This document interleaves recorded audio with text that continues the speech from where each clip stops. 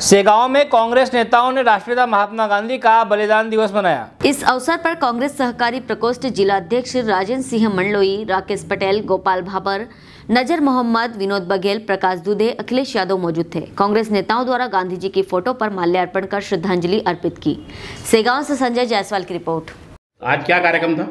आज राष्ट्रपिता महात्मा गांधी जी की पुण्यतिथि पार्टी के सदस्यों द्वारा हमने मनाई गई है।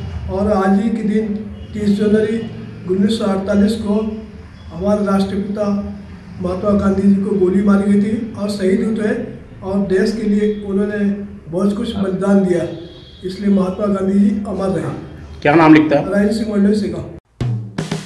हेलो फ्रेंड्स आप देख रहे हैं हमारा channel S W twenty four news हमारे सारे वीडियो सबसे पहले देखने के लिए आप हमारे चैनल को सब्सक्राइब करें और पास में लगे बेल आइकन को दबाना बिल्कुल भी ना भूलें।